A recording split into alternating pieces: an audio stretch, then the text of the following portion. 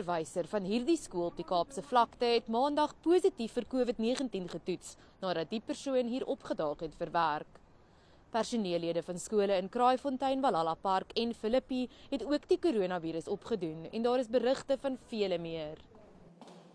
Baie onderwysers is vreesbevange dat dieselfde lot hulle kan tref as daar van maandag af moontlik asymptomatiese kinders wat die virus onderlede het in hulle klaskamers is.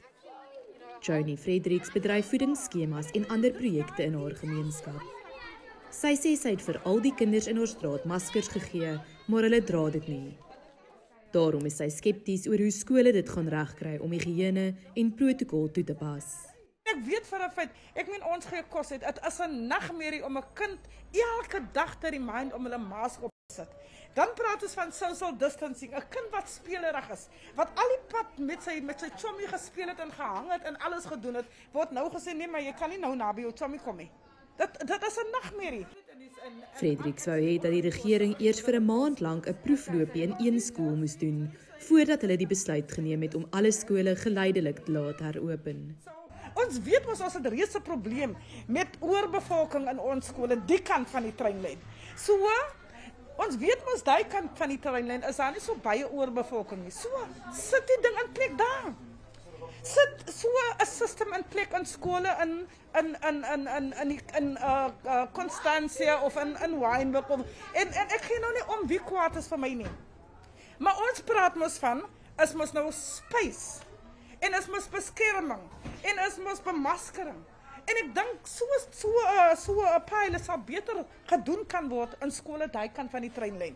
Is nie dat ons kinders nie wil skool toe gaan nie. Is nie dat ons nie ons kinders wil in die skool hê nie, maar ek gaan nie die kinders toelaat om in 'n slagpaal in te loop nie. Die Weskaapse ALR vir onderwys, Debbie Scheifer, is tevrede met wat sy hierdie week by skole waargeneem het.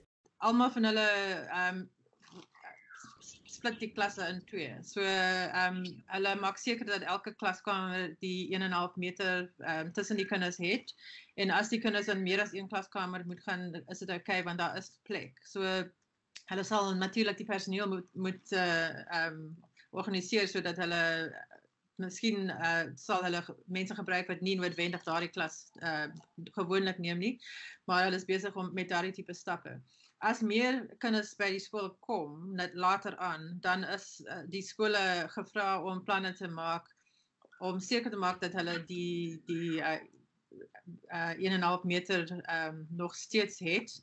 En as dit beteken dat kinders net elke alternatiewe dag miskien kan kom dan is dit wat wat dit moet wees. Want ons gaan nie ons gaan nie te veel kinders in 'n klaskamer sit nie. Dit is uh dit is ehm um, iets wat ons nie gaan doen nie. Nadine Tron, Unis, Kaapstad.